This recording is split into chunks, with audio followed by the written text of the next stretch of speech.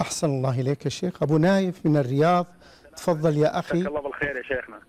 ولو سمحت تقصر شوية التلفزيون بس وتطرح سؤالك. تفضل. أقول السلام عليكم ومساكم الله بالخير. عليكم السلام ورحمة الله. مساك الله بالخير. مساك الله بالخير يا شيخ صالح. جزاك الله بالخير. أنا عندي سؤال للوالدة الله يحفظك. بنتها الله يحييك توفت قبل فترة الله- قبل أسبوع طال عمرك وعليها أيام من رمضان. شيء والوالدة الله يحييك تقول أبي أقضي الأيام هذه عنها. تبي طال عمرك الإفادة. شكرا. شكرا أبو نايف نعم نعم جزاه الله خير. تقضي عنها.